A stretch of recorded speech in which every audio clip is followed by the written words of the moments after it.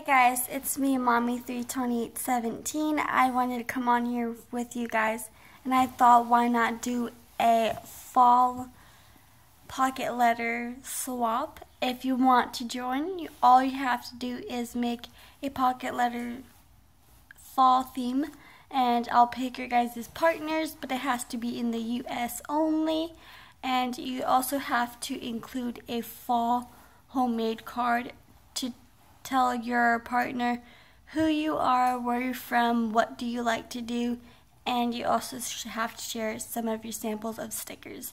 If you want to join, just put comment down below I want to join or comment down below part partner me up and I'll pretty much add you on my list.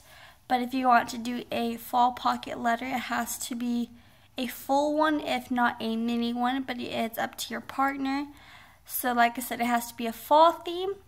You also have to make a homemade fall card that has to include your name, where you're from, what's your favorite hobby, what's your favorite holiday, and what's your favorite crafty thing you like to use. And you also have to share some of your washi samples. If you want to join, just comment down below. I want to join, and you'll be entered just like that. Alright guys, this will expire in, it's not expired, but it will end in two weeks.